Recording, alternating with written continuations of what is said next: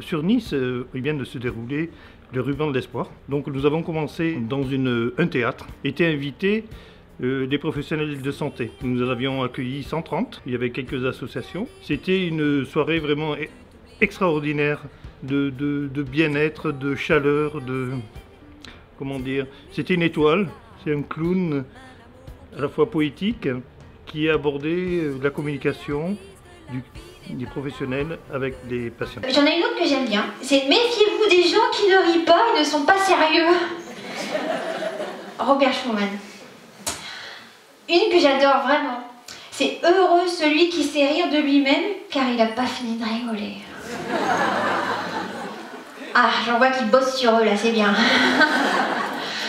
Ensuite, aujourd'hui, a commencé une, une réunion sur euh, l'installation de stands sur la place Garibaldi, une grande place de Nice. Nous avons eu euh, la Prémas qui était là, c'est l'association pour le dépistage du cancer du sein, évidemment le ruban de l'espoir, et ensuite notre association Réside 06. Euh, Tous les bénévoles de l'association étaient présents et nous avons, euh, malgré le vent, on a pu distribuer des tracts, vendre des petits pins, euh, qui, fait vivre notre, association. Ensuite, à l'après-midi, nous avons eu euh, une conférence euh, du marin Stéphane. Stéphane est un niçois euh, qui a fait le tour du monde à l'envers en solitaire, sans moteur et sans escale. Et il nous a raconté son, histoire. Le voyage qu'il a fait, c'est un peu le voyage que font les femmes atteintes de cette maladie et qui se retrouvent seules dans cet océan parfois de, la maladie, de- des traitements. et comme Stéphane était guidé par euh, des amis euh, via Internet ou par téléphone, nous, euh, nos bénévoles sont là aussi pour guider et accompagner des femmes qui sont dans la détresse, qui sont dans, la peine et dans l'annonce du diagnostic. Avoir ce ruban de l'espoir sur le bateau, donc porter ce message autour du monde, c'était fort de symbole, déjà de le faire naviguer autour du monde.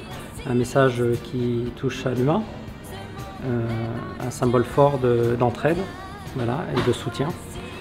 Euh, avoir ça sur une épreuve euh, extrêmement difficile, où il faut, euh, où il faut lutter en solitaire évidemment, mais c'est une épreuve morale. Et comme toutes les épreuves morales, on a besoin de soutien, on a besoin de réconfort.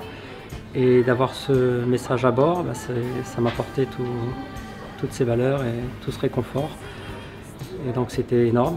Nous avons terminé euh, cette, euh, cette soirée par euh, des conférences avec le professeur Schneider, qui est président de la Ligue contre le cancer, et Claire Granon, qui a parlé de l'après-masse et qui a répondu aux questions des, personnes qui étaient dans la salle. Pas toi, persiste,